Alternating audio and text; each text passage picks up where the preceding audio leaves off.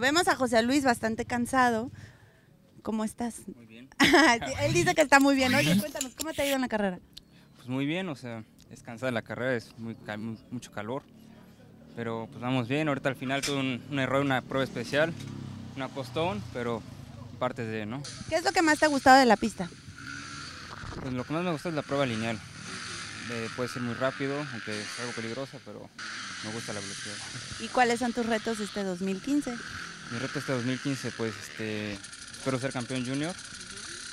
Y pues lo que estamos buscando todos los juniors igual es irse a Eslovaquia por parte de la federación. Pero pues hacer un buen año, no tener lesiones, no cometer nada de errores, más que nada es eso. ¿no? Pues muchas gracias y mucha suerte. Gracias a ti, nos vemos.